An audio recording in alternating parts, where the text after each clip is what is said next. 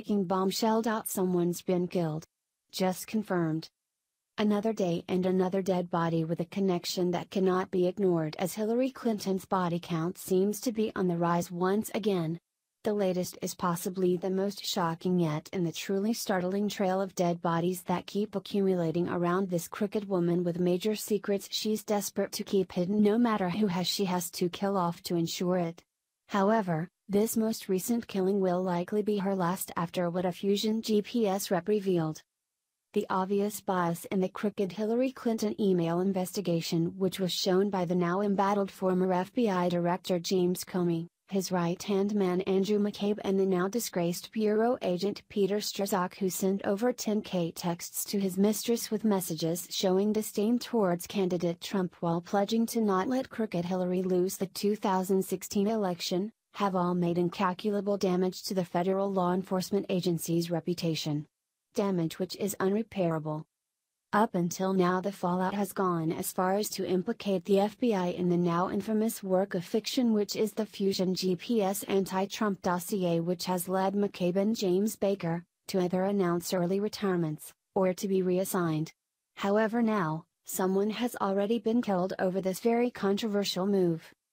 Fox News reports an attorney for the co-founder of opposition research firm Fusion GPS revealed during a closed-door interview this summer with congressional investigators that somebody's already been killed as a result of the publication of the anti-Trump dossier.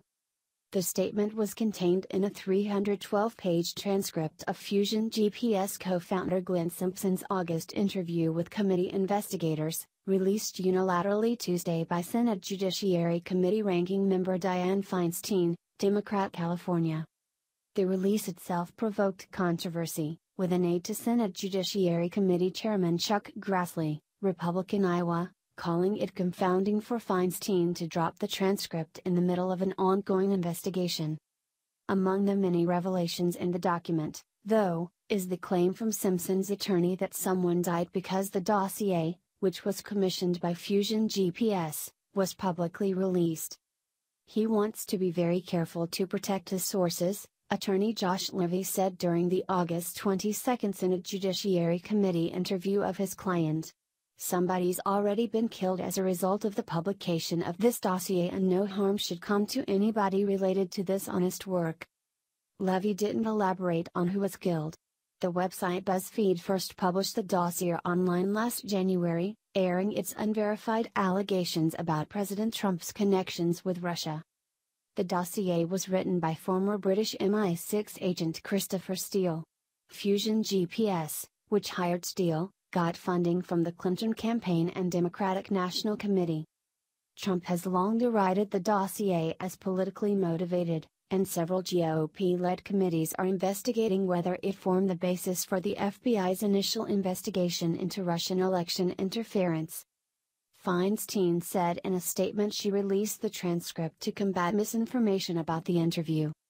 The innuendo and misinformation circulating about the transcript are part of a deeply troubling effort to undermine the investigation into potential collusion and obstruction of justice, Feinstein said in a statement.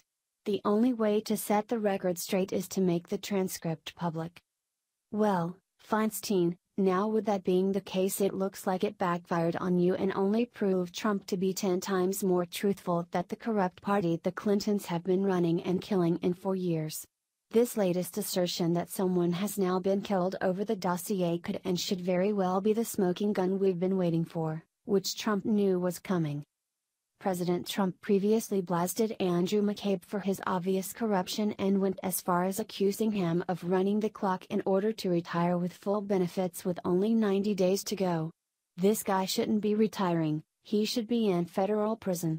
However, it's still a better gesture than being killed for your involvement in the corruption.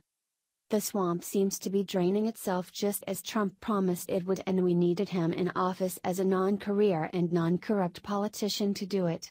He can't be bought off, and now everything is catching up with the Clintons as it should have way before now. But as for the FBI, they are so far gone that the best course of action might be just to disband it and start a new organization. Please share if you agree the FBI needs to be disbanded ASAP and Hillary Clinton needs to be locked up once and for all before anyone else is found dead. Dead.